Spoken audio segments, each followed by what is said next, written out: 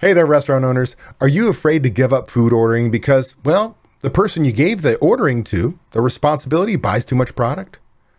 Is the over ordering emptying your bank account and you're finding it hard to pay your bills? Or maybe you're just frustrated because, well, you're running out to buy product because they're not ordering enough. Or worse, you're having the 86 items, right? Not a good way to run your restaurant. As a result, you might feel like you have to place all the orders. Or maybe you've got to keep a toxic leader in your kitchen, well, employed because you can't let them go. They're the only ones who know how to order. Hey there, Restaurant Pro. This is Dave Scott Peters, restaurant expert, coach, and creator of the Restaurant Prosperity Formula. And today I'm going to share with you how you can implement a system where anyone who is trained to count can place darn near a perfect food order. Are you ready? I'm going to teach you the math behind my restaurant order wizard that is a part of my restaurant prosperity coaching video and systems library. When used correctly, it truly can change your world. I could place an order from my desk here in Phoenix, Arizona, accurately, more accurately than anybody in your kitchen, if you give me the right data that we use in the spreadsheet. Now, I'm going to teach you the math behind it. You could create it yourself. Imagine what it means for you if you had a system like this in place. So let's jump right into it. Now, in order to set your par levels for ordering properly, the restaurant order wizard has several things that need to happen. Number one, you've got to gather the right information. And if you're using software, it's easy. It's export a, a, a, dump of information in an Excel spreadsheet or document and then copy and paste it into the spreadsheet because the equations are easy. But for many of you who are not using food, food and beverage software for managing your inventory and ordering and, and recipe cards and such, you're going to have to gather the data. So number one, you're going to grab a descending case report from all your vendors. Now you want to make it for the same time period. Like each report you want from whatever date to the whatever date so that it all lines up and you put it in one spreadsheet. Now I'm going to warn you, the moment you call your sales rep and say, "Hey, can I get a descending case report?" they're going to go, "What are you doing? Are you shopping me? Are you leaving me? What's going on?" Just let them know you're trying to set your pars. Now, you want it in a spreadsheet format so we can copy and paste it in to whatever spreadsheet you create, unless you're a member of mine and you've got access to mine. Now, you're also going to gather any store receipts, any vendor invoices that that you can think of that has food product on it. So if you ran to Costco, you ran to Smart and Final, you know, any of these restaurant supply stores that supply you food, you've got to have those receipts. That includes maybe the the uh, produce vendor that hand writes their invoices. Somebody's got to gather that data as well for the same date ranges. Now, the other part is, as we do this, you're going to enter your data. Now we got to compile it, put it all together. And so again, for the large vendors, we can copy and paste the data. For the smaller vendors, we literally have to type it in into the spreadsheet. And I'll show you what that looks like in a second.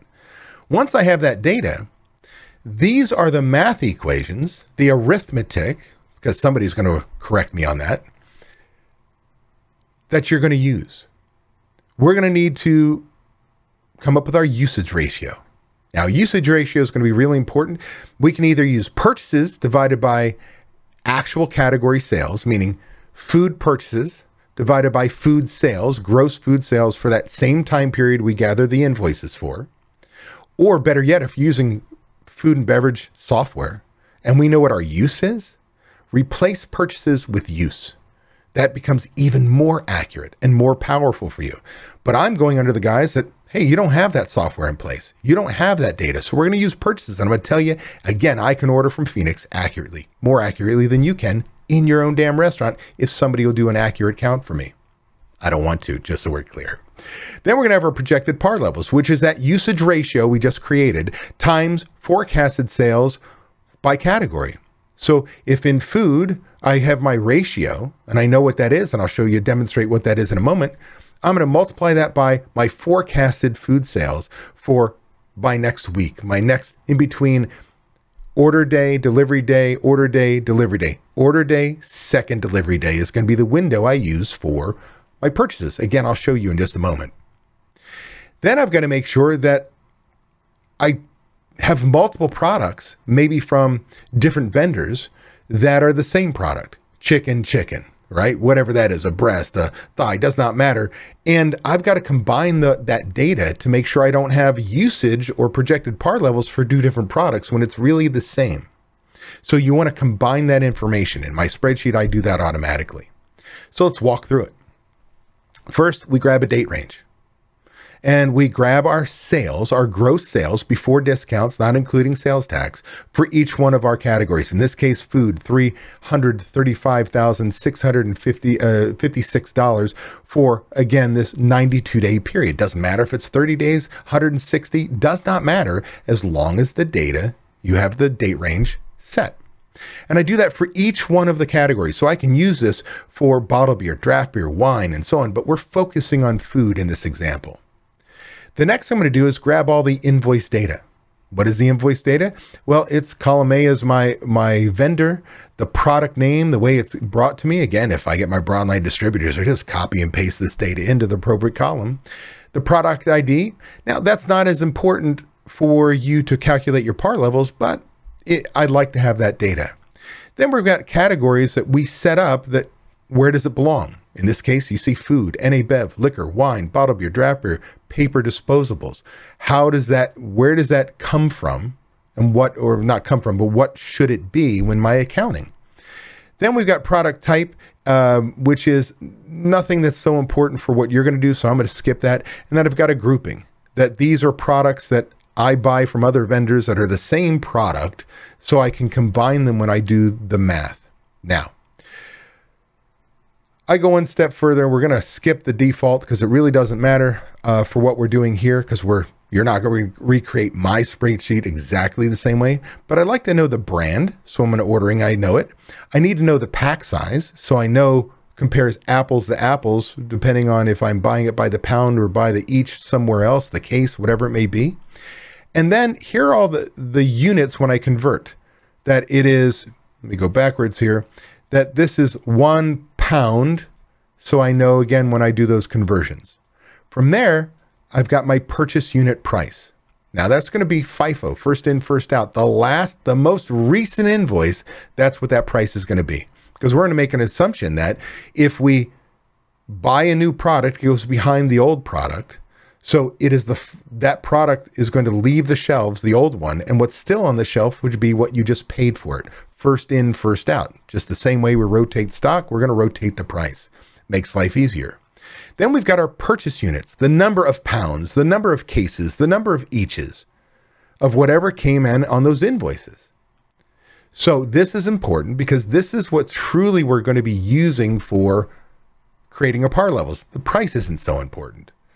Maybe for ordering it will be, and I'll show you how I take it one step further with my spreadsheet. But bottom line, here's all my purchases. Now, I'm going to move this over just one second here. And I want to show you the actually spent. Is that important for this? No.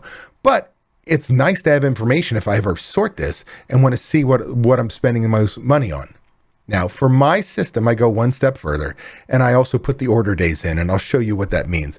It's going to be very difficult for you to, to uh, duplicate, but the basics are going to be easy. The next piece, since I know what everything I sell, what I've got is I come in here and I'm going to put in order day to next delivery day and what those forecasted sales are. Understand? I'm going to have the ability to sit there and look at and say, what will my sales be from the day I order, which is going to replace what was the, uh, left the shelves in the past, get me back to stock. Well, no, I got to go all the way to the second order that when I deplete product, I still have three days worth of food on my shelves. I'm not just so stressed about what I have, but I'm not over ordering either. Now, what I'm going to do in this example to create the math, I want you to notice here, I've set up that I can choose the days that I want these purchase orders, if you will, and par levels to be created. So I'm going to click on generate par report, give it a second down here, and you're going to see that we just created two new tabs. So I've got the two different orders here, but what you're going to notice is I've got my grouping, which is fine, my food. What we really want to come down to is we come over here to our projected par levels, column I. Now you're going to notice here that ground beef, based on my usage, right? The purchases in this case. We have a ratio that basically says for every dollar in food sales, remember the actual sales? Let me take you back to that. I'm going to go to actual sales. If I take $335,000 and I go to my invoice data and I say I used 800 pounds, right? We go to the equation. The equation is usage ratio or purchases divided by actual sales. So I take my purchases of 800 pounds and I divide it into $335,000. That's going to put me in a position where what? I know that the ratio might be 0.000063 pounds. For every dollar, that's how much I use. 0.000063 with that ratio. I multiply that ratio by what? My forecasted sales. Right? And the beautiful part is when I go to my, because my forecast is here, it is actually already generating the right number because it knows that 76.69% of sales are food. So it's going to give you your forecasted food sales. It's going to know what that usage ratio is, and it automatically tells you need 850 pounds. You're also going to notice here on row six, I've got a check daily. What does that mean? It means the usage is so low, like maybe parsley or something like that, that it says you should you really should count it on a daily basis. Ah, but there's one more piece here you're going to notice that if I come back over to, and this is something that's going to be difficult for you to create, but I want to show you what I do, is I go in here because I set these order days, only the products for the day of the week that I'm placing that order are going to show up on that. We're not going to put the whole list of items. We're going to consolidate to this is what I order on Monday and this is what I order on Wednesday. Here's a beautiful part. Once you have this data, you can go one step further. And if we look at the, the beef here at the top, if I go inventory that I have 50 pounds, it's going to change my order to 800 pounds. If I have uh, 50 pounds, it's 800, but I know that I have a catering and I want to order 900 pounds, I can literally overwrite it and it's going to tell me how much I'm going to order and how much money I'm going to spend. One step further, I come all the way to the bottom. And actually, let me do this. I want to uh, show for all vendors. And then I come down to the bottom, going a little bit too far. Hold on one second.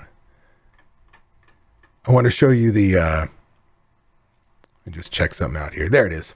It's on this one. So down here is my Sysco total by category. Here's my US food total by category. I can do some sorts, things like that. But the bottom line is by having this data, by just following the three arithmetic equations I gave you, gathering the right data, you're going to be able to place an order without any kitchen experience, without any knowledge, does not matter. The math will not lie to a point where if your recipe costing cards call for six ounces of french fries, but you've had lurch on the line put eight ounces on every single plate, it's going to order enough food that you put eight ounces on a plate. It's the way you execute your, your recipes, not what the ideal should be.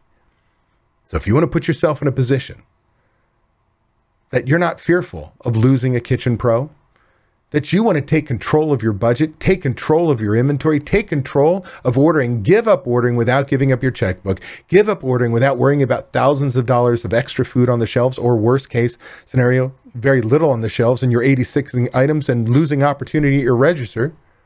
Well, then you need to put this in place. It's going to take time. But I'm going to tell you that time is well spent. Be sure to join me live every Friday at 8 a.m. Pacific time on YouTube, travel schedule permitting, where I'll get you pumped about the upcoming weekend, get you excited about crushing your goals and finding the motivation to be best you possible. Plus, I'll answer your burning questions live.